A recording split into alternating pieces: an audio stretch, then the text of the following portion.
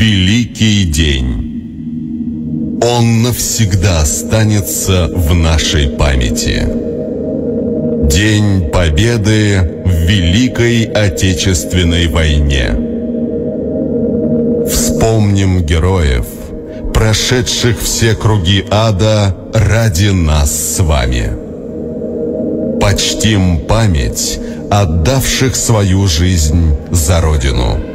Мой дед по маминой линии, Зуйков Петр Михайлович, воевал в Великую Отечественную войну, был адъютантом командира и спас его от смерти, за что и получил награду. И мои дяди, родные братья моего папы, и дядя Ваня, который один-единственный дошел до Берлина, это Григорий, Василий и Алексей, самый молодой.